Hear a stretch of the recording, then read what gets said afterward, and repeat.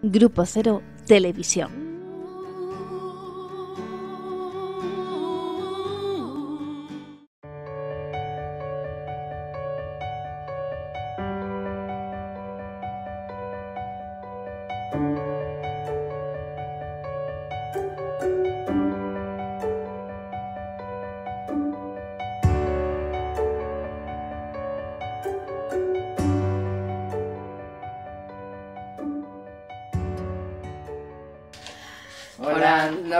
Nos la conversación señal. vienes? Nos hicieron una señal. ¿De qué hablábamos?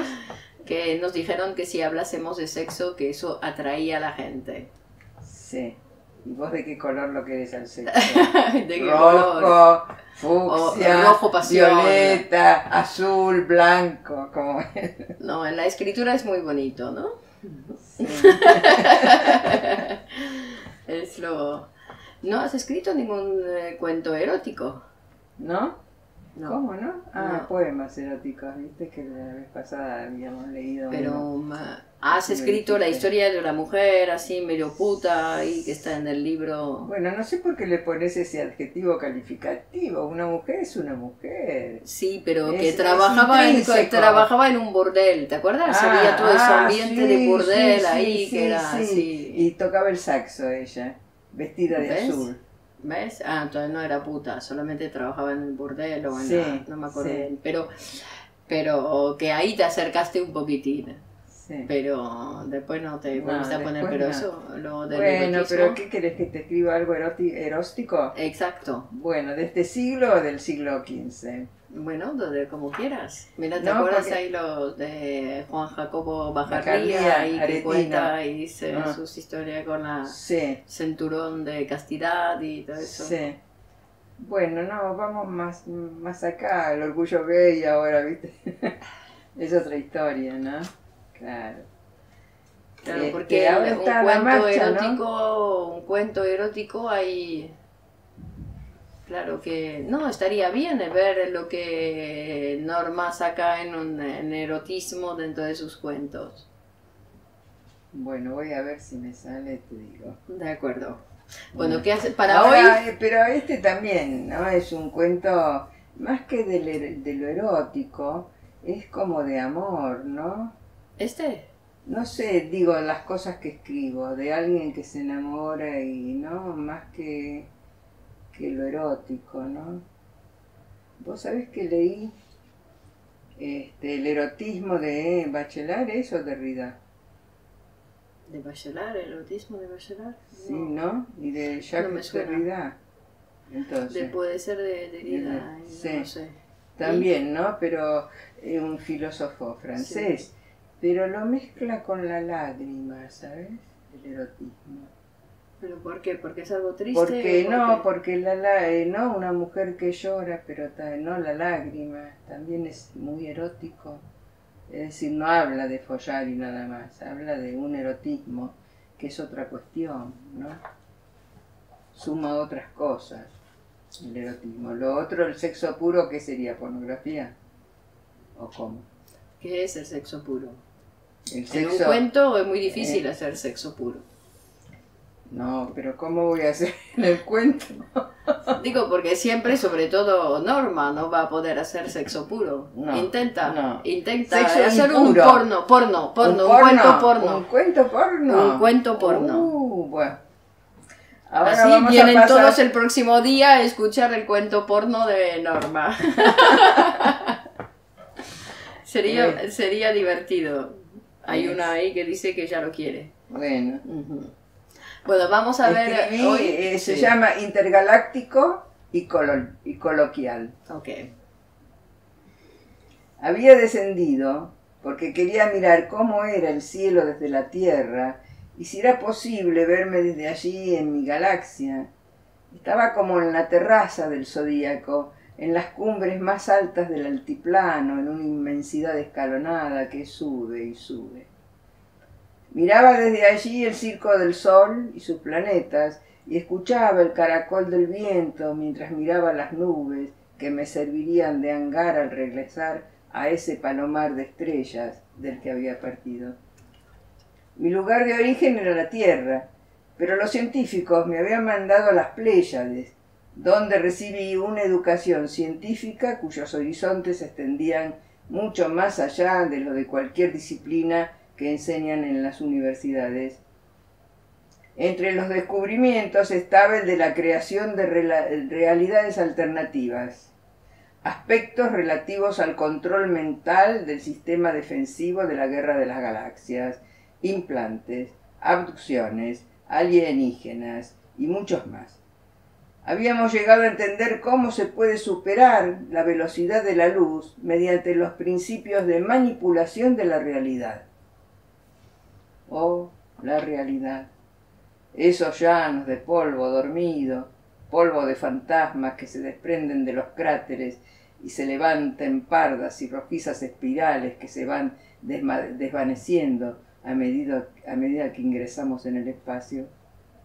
Yo venía no de una galaxia, sino de un lugar pequeño que se formó del desprendimiento de lo que sí era una constelación, que era la de Centauro, y ese separado como un fragmento adquirió una cierta libertad de, la constelación, pero lo encadenó a una cruz de cuatro estrellas, que fue llamada la Cruz del Sur, en oposición a la Cruz del Norte, la coste, que era la constelación del Cisne del sur girando alrededor de los polos celestes de un sur inamovible, quedando para siempre señalando el sur.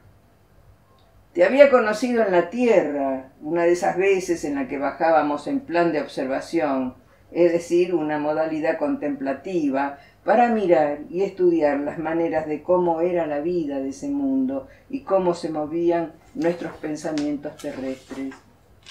Tú venías de Orión, Orión, el cazador, una constelación importante, situada en el ecuador celeste, por lo que puede ser vista desde cualquier lugar del mundo, y que te convertía en aquel gigante mitológico, Orión, de la mitología griega, y habías olvidado esos raros misterios de la tierra cuando llueve y se forman espejos de agua. En tu caso, los espejos eran de piedra y la piedra tenía una vertiginosa velocidad y se desprendía y era una lluvia de meteoros.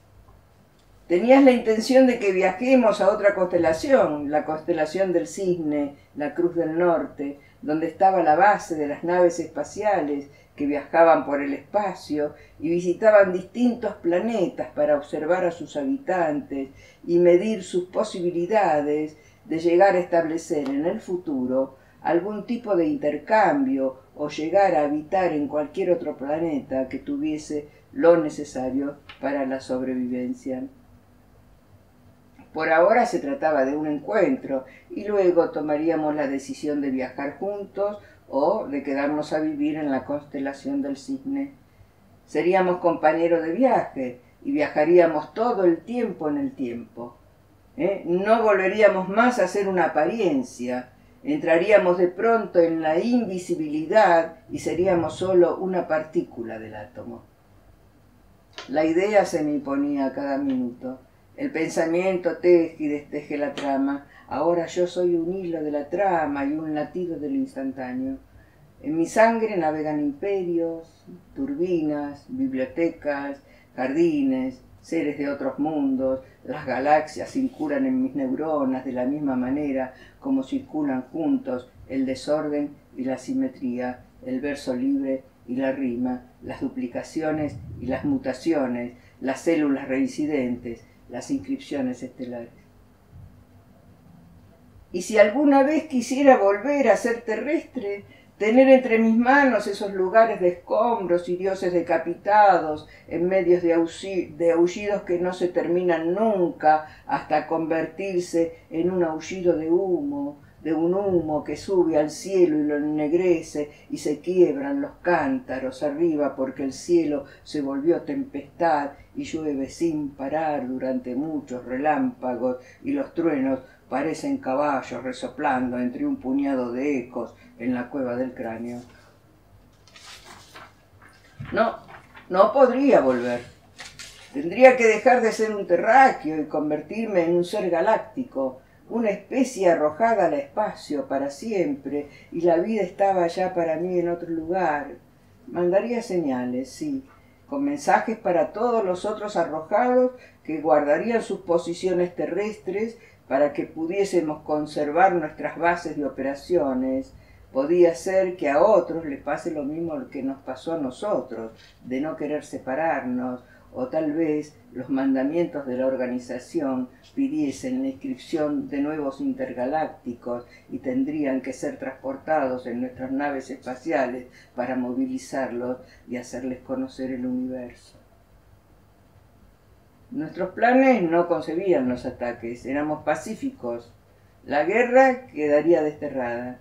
Queríamos saber cómo era la vida para poder transportarla a las otras galaxias que habitaríamos, pero queríamos elegir entre todas las maneras presentadas una manera eficiente que produjese el mayor bienestar y el ahorro de energía psíquica. Queríamos inventar una nueva manera de vivir. Oh, la realidad otra vez entre los dioses ahora, acordándome de Dionisio el liberador o el extranjero, liberando a uno de su ser normal mediante su misión divina de invadir el mundo con música y dar final a las preocupaciones, porque como él haremos un culto a las almas y como él tendríamos esa capacidad de presidir la comunicación no ya entre vivos y muertos, como él decía, sino una comunicación intergaláctica, coloquial, envolvente, con largas prolongaciones en el espacio donde se desplegarían finísimos sentidos ante nuestros ojos, lentos, apenas móviles, elevándose hacia otros otros ojos inmateriales, arrebatados por los misterios de la naturaleza. Ah, de repente aparece la naturaleza. Sí, apareció la naturaleza. ¿No? Los misterios de la naturaleza del universo. El, claro, ¿no? Eso no es naturaleza, es el universo. Sí, sí, por supuesto. Es que cuando pienso en naturaleza enseguida veo árboles y campo y todo. Ah, ah pero acá es naturaleza, ¿no? No te conmueve eso de que cada uno tenga su órbita y no se mueva y ahí no hay ningún desobediente porque si hubiese desobediente, viste, los choques de los planetas, no, no se podría, ¿no? Como todo está tan ordenado. Bueno, a veces hay, ¿no? Hay desprendimientos, uno que cae sobre... Ah, sí. Digo que... Aerolitos se llaman, ¿no? a veces caen, ¿no? caen como piedras o caen cosas, ¿no? Del cielo pero cómo, ¿no? Eh, pero lo que a mí me impresiona es ese orden tan estricto, ¿no? De las órbitas estelares, ¿cómo puede, quién maneja? ¿Cómo es? ¿Cómo es? Que todavía no llegamos, ¿no? Porque está el magnetismo, está un montón de cosas desde la física, ¿no? Pero, ¿no? Vamos a parar a quién creó el universo, otra vez preguntándonos por el origen. Bueno, pero se habla mucho del Big Bang, ¿no? El gran Big Bang ahí que fue una explosión que... Sí. Una explosión. Sí, que supongo que eh, de qué habría que ver, no lo sé, no, no tengo la información ah, que yo estaba pensando más bien en, me acordaba de lo del, de Pascal del infinitamente grande. ¿No? Que Pascal hacía referencia a para poder que el ser humano se diese cuenta en qué dimensión está, estaba el infinitamente pequeño el infinitamente grande. Y ahí, claro, poder pensar esa, esa grandeza de un universo ahí, pero que está muy bien tu cuento, porque ahí hay como una manera de pensarlo, esa grandeza, ¿no? De viajar por los planetas, por la luz, por la vida, por los encuentros. Sí la manera de vivir, de la posibilidad, está genial. Digo, porque trabajaste un montón de temas, abriendo un montón de, puertas ahí para... Y después las galaxias, ¿no? Las galaxias son conjunto de estrellas, que donde cada estrella está ubicada en un lugar. Sí, que entendido, ¿no? Y que nadie se, nadie se empuja, déjame para que pase, sino que están cada uno en su órbita y y gira ahí desde su lugar. Porque entre estas dos este, constelaciones que nombro, la Cruz del Sur, que ni siquiera es una constelación, es un desprendimiento de una constelación mayor. Y Orión, ¿no? Y está Orión. Sí, y Orión es otra constelación grande, ¿no? Pero después, frente a la, a la Cruz del Sur, Sí. eh, surge la Cruz del Norte, Ajá. que es la que tiene el, el nombre de este pájaro que se dibuja. En, si recorres las Ajá, estrellas, sí, el cisne, Ajá. se dibuja un cisne con un ojo en la cabeza que es una estrella. Sí, me imagino que en No. Argentina se ve muy bien, ¿no? Porque aquí... No, en la Argentina esto es otro hemisferio, ya estamos en el Ecuador. En la Argentina lo que se ve es la Cruz del Sur, porque está Ah. alrededor del Polo Sur. ¿Eh? Y hay esa, esa atmósfera de blanco, Ajá, nieve del ajá, polo, y ajá. ella está ahí señalando siempre inmutable el sur. Pero después está la otra constelación, que es la del norte, donde está la constelación del cisne, que se llama Ah, la constelación ok. del norte, Ajá. que está en otro nivel, está más arriba del Ecuador. ¿no? Pero son dos polos de oposición, la Cruz del Sur y la Cruz del Norte. Y lo que pasa es que en la Cruz del Norte, según algunos libros de ciencia de estas galaxias, este, están en la base de donde parten los platos voladores y los están los alienígenas, hay una base ahí, ¿no? Ajá. En la Sí. cruz del cisne. Es en la Eh, cruz sí, del norte. sí, sí, sí, sí, en la constelación del cisne. Ahí están los que experimentan, ¿no? Los extraterrestres que a veces se asoman y vienen a la Tierra a nada, a mirar, a ver cómo es. Y a elegir, tal vez, ¿no? Cómo sería la vida, sin Sí, tanto sí, gasto, ¿no? Sin tantas emociones, sin tanta cosa. Cómo sería la vida en otros planetas, ¿no? Que a lo mejor también hay vida en otros planetas. ¿Quién, sí, quién parece, sabe? que, Tanta parece que sí, ¿eh? parece que sí, sí, ahí tenemos ahí, ahí, ¿no? Más o menos pruebas Sí. de, de que hubo extraterrestres que vinieron a la Tierra. Sí. Ah, sí, todo. Digo, porque eso, eso Sí. es como una idea que siempre queremos descartar porque nos molesta, porque no sabemos, porque no, teníamos, no terminamos de entender, Sí. depender que hay otros seres que no, no, no tenemos ni idea ni cómo son y parece que son bastante más inteligentes que nosotros. ¡Qué horror! Sí, ¿no? Entonces, claro, es como una... Tenemos bastante rechazo sobre esa idea, pero parece que sí. Y además habrá civilizaciones, porque si viven todos juntos seguramente, ¿no? Tendrán leyes y órdenes y este, ¿no? Es otra civilización. Sí, Otra no me puedo creación. imaginar, no sé Ah. cómo serán los extraterrestres que viven entonces porque son diferentes de nosotros, no sé si... ¿O no? ¿Y qué? ¿Tú piensas que ya tienen también el complejo de Edipo y esas cosas? ¿O qué? No sé, digo, ¿cómo vendrán? ¿Cómo nacerán? No sé. Claro, ¿no? No, no. ¿Cómo nacerán?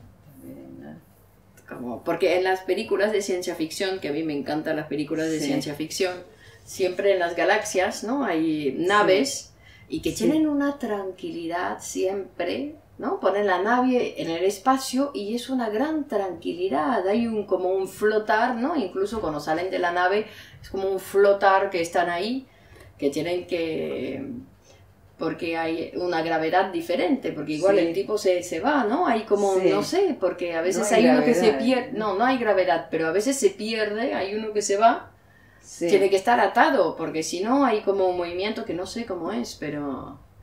Y no, porque pensaba en una película que vi hace poco, una película de estas americanas de ciencia ficción, donde enseñaban que había unos cuantos hombres que habían ido, mm, que tenían la, mm, la idea de ir a otro planeta, Sí. donde parece que ya había gente. Ojo, que ya estamos Sí. en... uh, Entonces ya había hombres que se habían establecido y entonces había una nave que iba de la Tierra hasta este planeta, pero la- el, el viaje iba a tardar 16 años, una cosa así. ¿Ok? Iba a tardar 16 años el viaje. Entonces, para, em, para no que lleguen o más, eh, vie- más viejos de 16 años, los adormecían. Entonces estaban todos en una cápsula Sí. eh, adormecido, ¿no? Durmiendo con no sé qué, y, pero una gran cantidad, y la nave iba sola.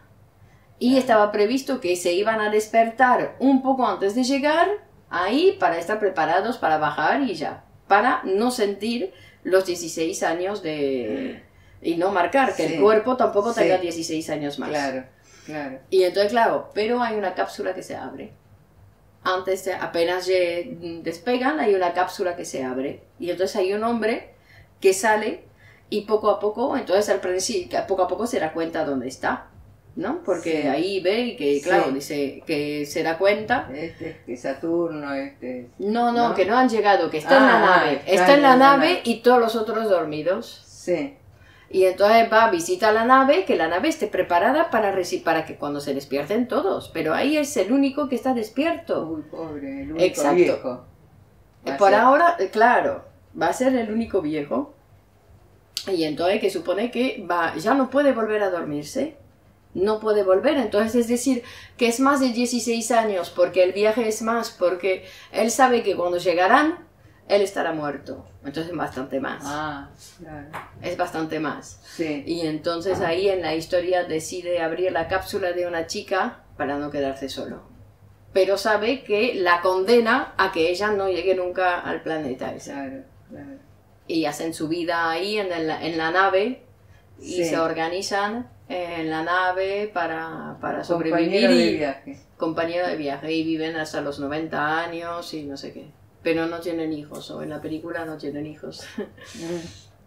Digo, porque... Pero bueno, digo que esa tranquilidad que siempre ponen ahí en la vida de las galaxias, Bueno, muy bien, ¿no? Son o sea, es un mundo, es un mundo, es un mundo para... Para imaginar. Para ¿no? imaginar, Pero, sí. ¿Viste cuando fue Julio Verne que habló de.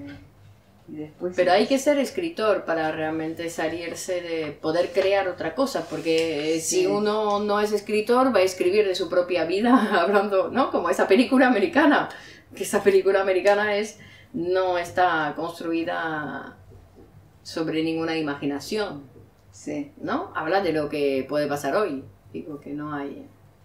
Bueno, es un mundo fantástico, ¿no? Es un mundo fantástico. Sí, Pero está, existe, eso es. ¿no? Es fantástico, pero existe. Sí. Levantás la vista, la mirada al cielo y está. Por ejemplo, la noche estrellada. A ver. Ah, El cielo tiene miedo de la noche, de ese silencio lleno de murmullos, cuando los ojos se llenan de recuerdos y una invasión de ópalos se cuelga en la mirada.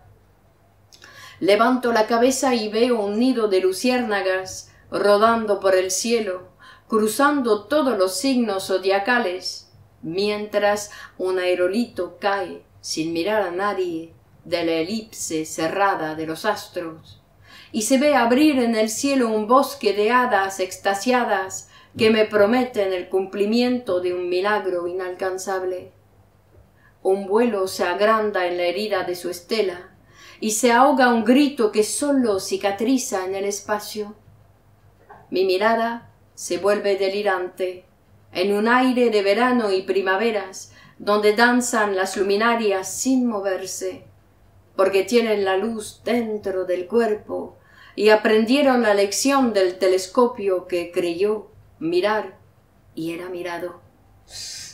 Con un llanto de luna oigo el ladrido de un perro que da la vuelta al mundo, y un nocturno durmiente en un concierto único reposa sobre el piano que ensaya muertes tenues, junto al sonido del mar, que prepara algún naufragio, mientras doblan las campanas de los astros muertos y el azul del universo se salpica de luz, aquella que desbordan los planetas, dominando un insomnio interminable que invade todos los rincones, cuando es hora de dormir en todas partes.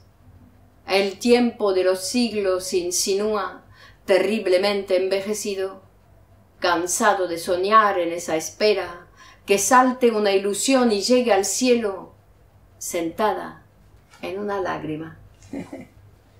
muy linda. Muy bien. ¿no? Muy bien, sí. Una noche estrellada. Bueno, nos hemos hecho un pequeño viaje. Mm. Bueno, Nos hemos hecho el- un pequeño viaje así de cielos. sí. Bueno, tú sigues. Muy bien, yo sigo. Ok, muy bien. Entonces seguimos. Si la escritora sigue, eh, nosotros seguimos. Muy bien, de acuerdo. Muchas gracias, Norma. Hasta chao. la. Hasta la próxima. Chao, chao.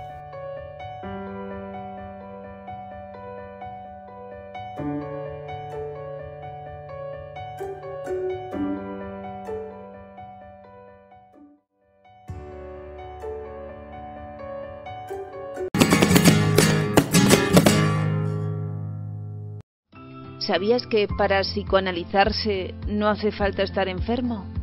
Psicoanalizarse es hablar con alguien que aunque no te diga nada, sabe lo que te está pasando. Departamento de Clínica Grupo Cero. Somos especialistas en psicoanálisis. Te atendemos en Madrid y también en nuestras consultas online. Llama al teléfono 91 758 1940.